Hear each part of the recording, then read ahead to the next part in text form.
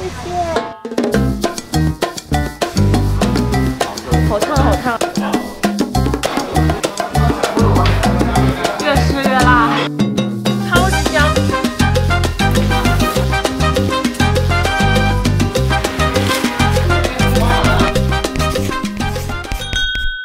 友友们，我们刚刚到达了衢州霞浦，开了四个多小时的车。今天早上还是四点起的，去看了一个日出，所以现在非常的电量低。我们准备先填饱肚子，浅炫一个麻辣烫，正式的美食之旅明天开始。我就知道，只要我把我手机导航给 Simon，我就一定会走错路，尤其是刚掉落在一个新的地方的时候。看了一天导航，我整个脑袋都是懵的。做功课的时候，我在几家麻辣烫之间纠结的不行，结果现在我现在有点饿到失去意识，城墙都能看。多到脑袋都不转的我们俩，直接选了一家离酒店最近的，管不了那么多了，就是它了。饿的时候吃麻辣烫，往往就会。这个是店家的特色虾滑粉丝，不用我说，大家应该猜到是哪一家了吧？它是那种爽利类型的麻辣烫，不光口感利落，辣也一点都不拖泥带水，啊，辣了。我被呛到了。还带一点点微微的甜。上面的榨菜是点睛之笔，让整个麻辣烫多了一丝鲜爽，香香辣辣的，真的很过瘾。据说夏天吃水晶糕是衢州人的传统，两大勺水晶糕再加上两大勺带着冰渣渣的糖水，看着就解暑。它的神来之笔就是这两滴薄荷。我一开始只想和皮皮鱼一起喝一个，但看到了他滴的是薄荷的时候，我就说我也要单独一个。冰渣物理的冰凉，再加上薄荷醇带来的化学上的清凉，双管齐下，整个口腔和鼻腔都被这股来势汹汹的清凉感给占据了。那个薄荷味道就在上面滴了一滴，整一杯都有。哎，那好凉啊！我在网上看到他们说水晶糕只有夏天有，是真的吗？哦哦，对了，还有，千万不要妄想用吸管就把水晶糕吸出来，不要不要妄想，是要这浅茶。啊，被水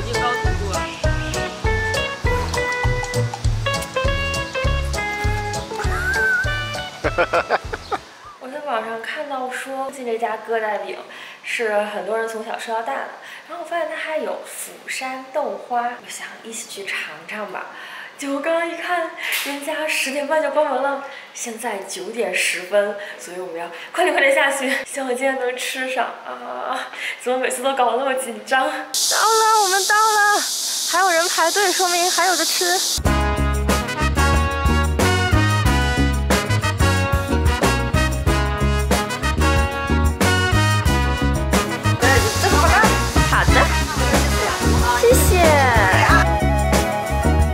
好烫好烫！刚从锅里拿出来的疙瘩饼，疙瘩饼加油条，这边特别流行的吃法。被烤到干香的饼皮里夹着微辣的肉馅儿，一点点就特别的香，还有一整根软软的油条。我的天，这不比赛百味好吃多了吗？碳水配碳水的吃法，自从我接受了这个设定，我就觉得它很香哎，它没有很湿润，是那种干香型的，里边的那个肉馅提供了一点油滋滋的感觉。不好吃，外边这个烤的有点脆皮。你看到我炫这个饼的速度，你就知道它有多香了。它这个肉真的好香啊！就好久没吃过这个味道的肉了。上午在衢州的街道上走，总能看到疙瘩饼的身影，看得出来大家真的很爱它。因为什么我现在长了一颗痣？哎呀，是疙瘩饼。留了一点打包是吧？吃完疙瘩饼之后，你猜我们去干嘛了？哇，这个薄荷真的是解暑。我们终于又出发了。对，现在是傍晚，所以没那么热。对，因为最近真的太热了。三头一掌是衢州这边的特色，就来了不尝就等于白来。我看这边有很多很多卖鸭头的，但我在网上找了一大堆攻略，我觉得大家普遍认为是 YYDS 的，就是这个满天香，刚好它离我们住的地方又很近。兔头跟鸭头都被炖得很软烂，本来以为会很辣，但并没有。是一种很开胃的辣。其实我跟 Simon 对于各种头类都不是很感冒，但既然来了衢州，还是要尝尝。不得不说，卤的真的很入味。本来我跟 Simon 只是想点个主食再填填肚子，没想到这个炒粉干真的好好吃啊！我刚才已经在镜头后面偷吃粉干好久了，这粉干真的好好吃哦，就它滑溜溜的，然后上面裹满了这个酱汁，然后一口吃下去的时候就能吃到所有的料。据说粉干的历史可以追溯到一千多年前的北宋中期，它的口感吃起来跟米粉啊、米线都不太一样，更爽利一点，感觉含水量更低。本地的朋友能讲讲粉干跟米粉、米线到底是哪里不同，导致了它们口感上的区别吗？今天晚上我跟 Simon 还要去吃一样东西，也是来到衢州绝对不能错过的。光是在网上看图片，我就能想象它有多香。所有的饼一律现点现做，师傅手速极快，在擀好的面皮中按比例填入肥肉、瘦肉和梅干菜。没有梅干菜的小烤饼里边则要加上灵魂葱花，收口点上芝麻，迅速的贴在炭炉壁上。这个炭炉有一种梦回北方的感觉。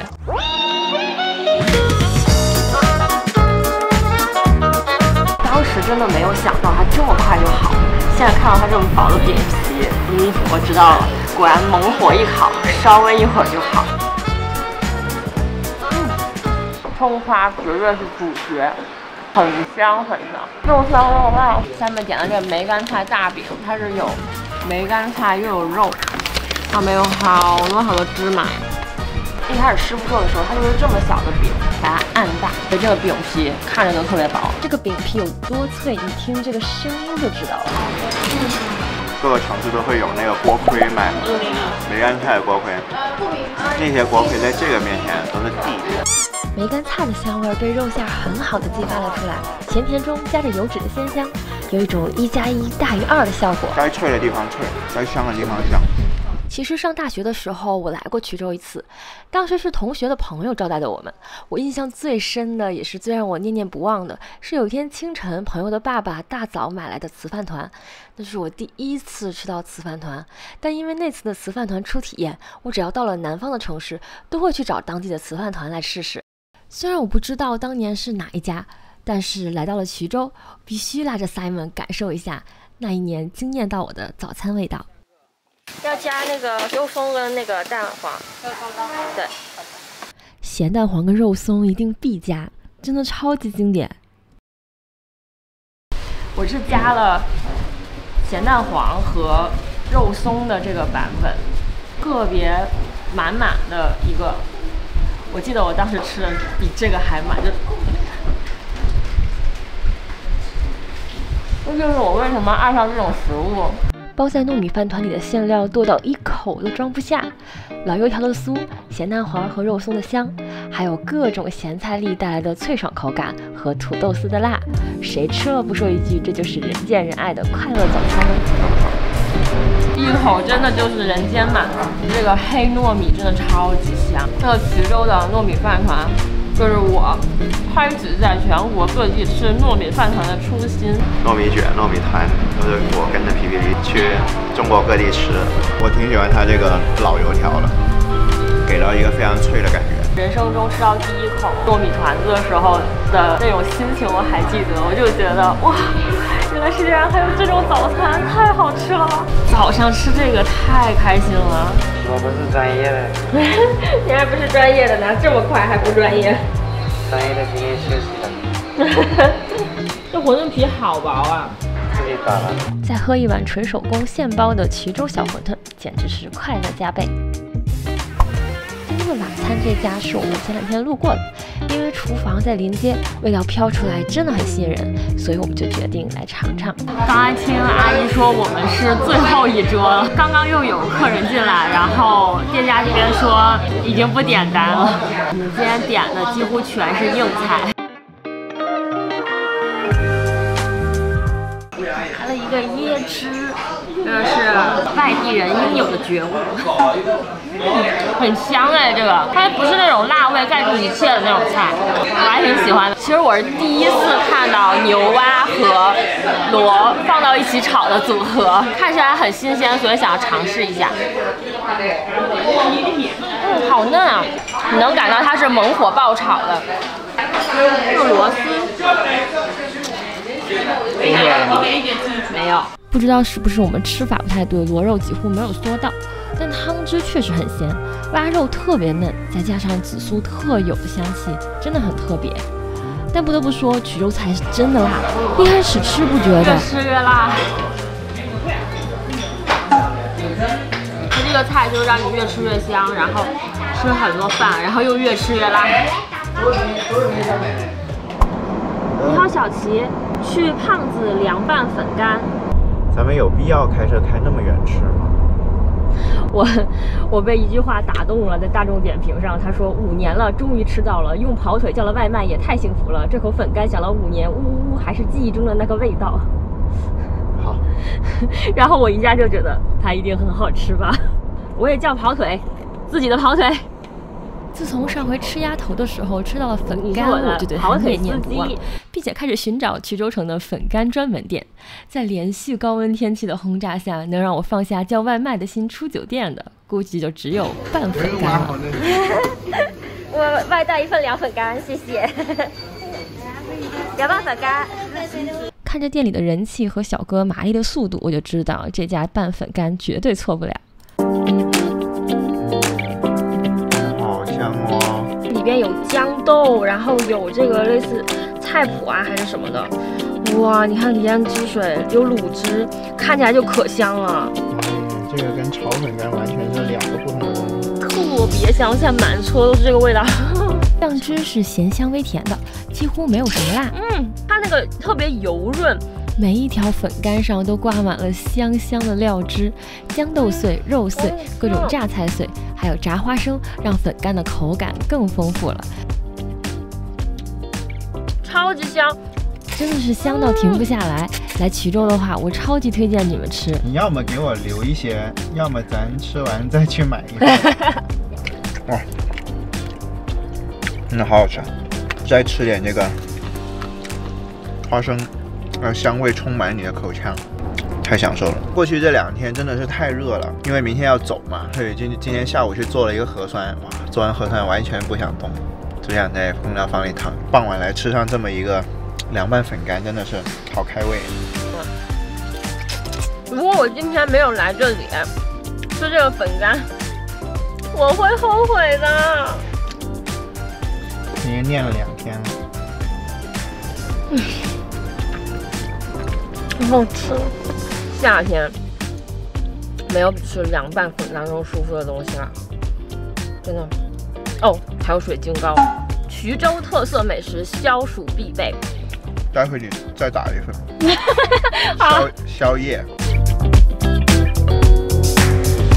你们有没有就是那种吃到好吃的东西的那种开心？我现在就是那种开心。说实话，好羡慕你们衢州人，随时随地想吃就可以吃到这么好吃的凉拌粉干。在离开衢州之前，我们来到了龙游，因为有一个小吃特别吸引 Simon，其实我对它也很感兴趣，所以我们就想先来龙游尝一下，然后再离开衢州。